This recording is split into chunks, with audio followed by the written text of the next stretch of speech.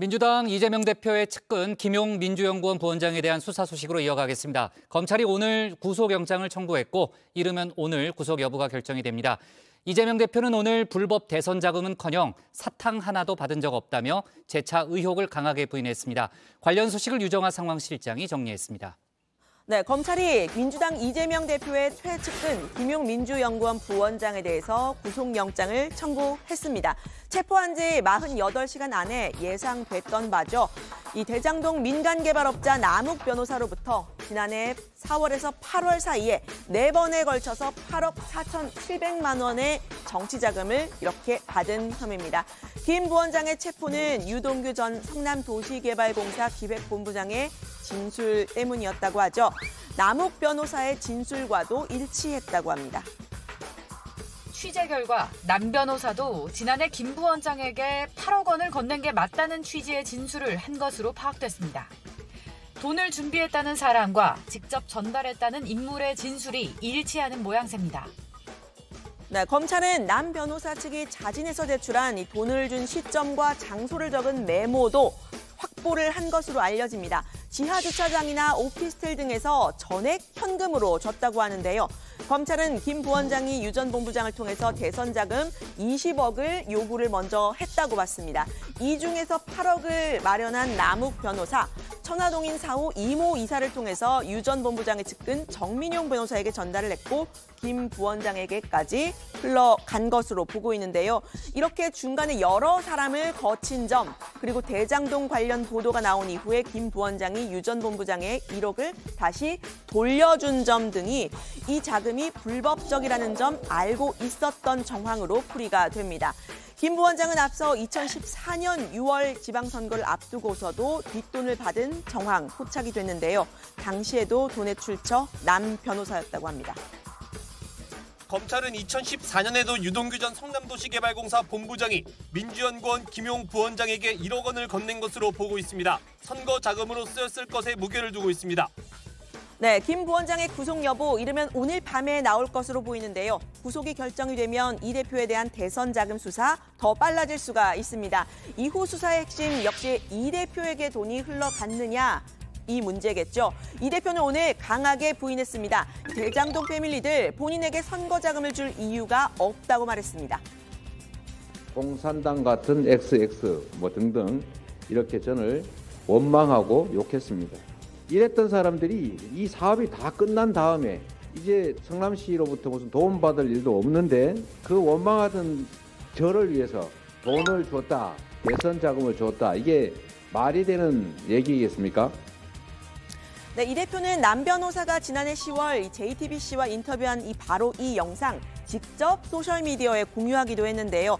자유로운 몸이었던 이때 이 기자에게 했던 말 그리고 지금 검찰에 구속된, 사, 아, 구속된 상태에서 검찰에 한 진술 중에서 어떤 게 더 진실에 가깝겠느냐라고 묻기도 했는데 당연히 후자가 조작이라는 취지입니다.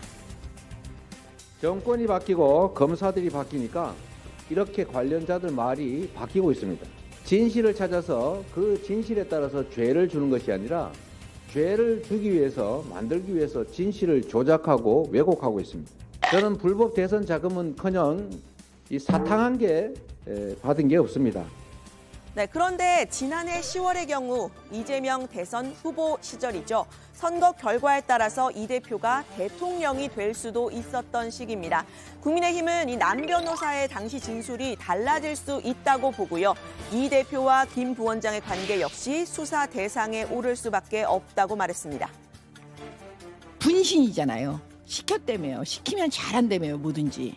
양쪽 진술이 지금 맞거든요. 김용 씨가 유동규나 혹은 남, 남욱에게 나 이재명 후보를 위해서 대선 자금 쓰니까 돈을 달라. 이재명 대표는 그 이 김용에 대해서 네. 내 도구다, 유용하다. 음. 어? 시키면 일을 잘한다. 네, 국민의힘은 김용 부 원장이 애초에 20억을 요구했다라는 점에도 주목하고 있습니다. 대장동 보도가 나면서 자금 전달이 끊겼다라는 점을 들어서 이 수사를 더 확대해야 한다라고도 주장을 했는데요. 이원석 검찰총장의 대답도 한번 들어보시죠.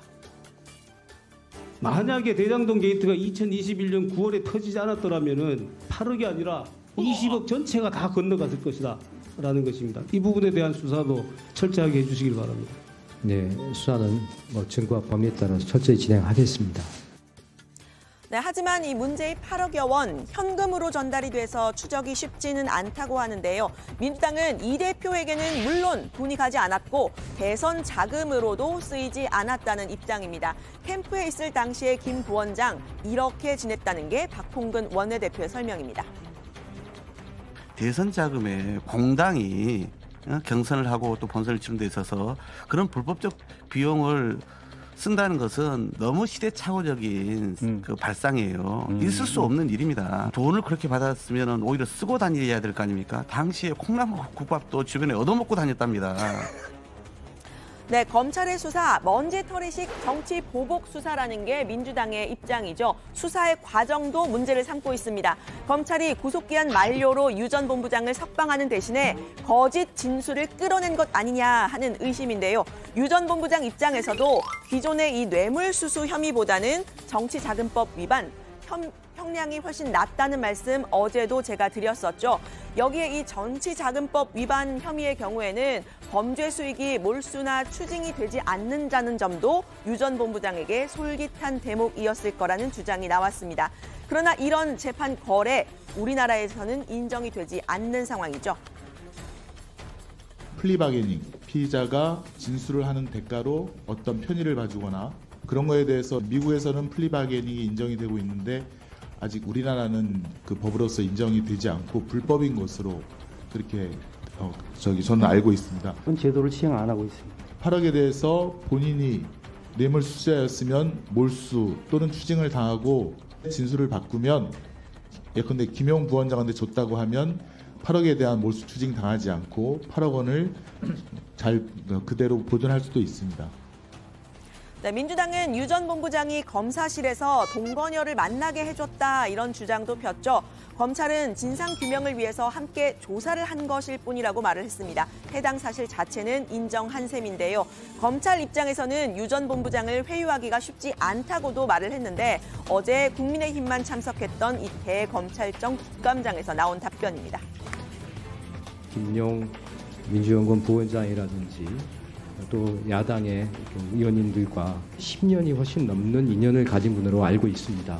회유를 한다고 하면 오히려 구속을 시켜놓고 교정시설 안에 가둬놓고 회유를 하지 구속기간이 만료가 돼서 밖으로 나간 사람을 회유를 할 수 있겠습니까? 이 검찰총장은 김 부원장이 소속된 이 민주연구원 압수수색을 막은 민주당에 대해서 공무집행 방해 혐의 적용을 검토하고 있다고도 말을 했는데요. 가까운 시일 안에 다시 압수수색을 시도할 거라는 이야기도 나옵니다.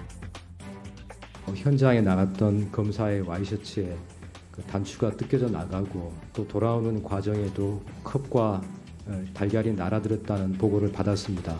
검찰총장으로서 대단히 안타깝게 생각하고 그 적정한 수사에 대해서 제가 울타리가 되줘야 한다고 생각을 합니다.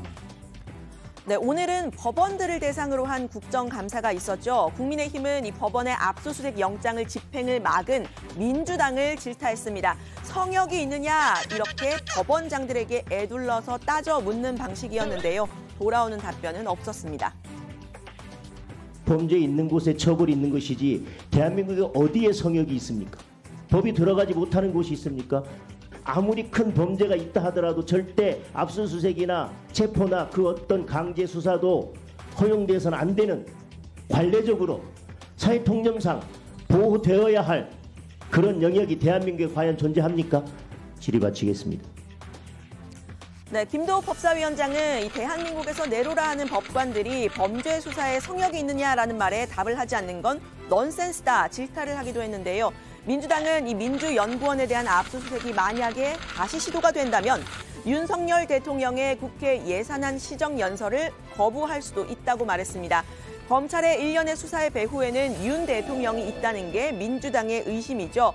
대통령실의 설명에 따르면 우리 국회를 낮잡아 보는 말을 했던 윤 대통령에 대한 민주당의 감정 상할 대로 상해 있는 상태입니다.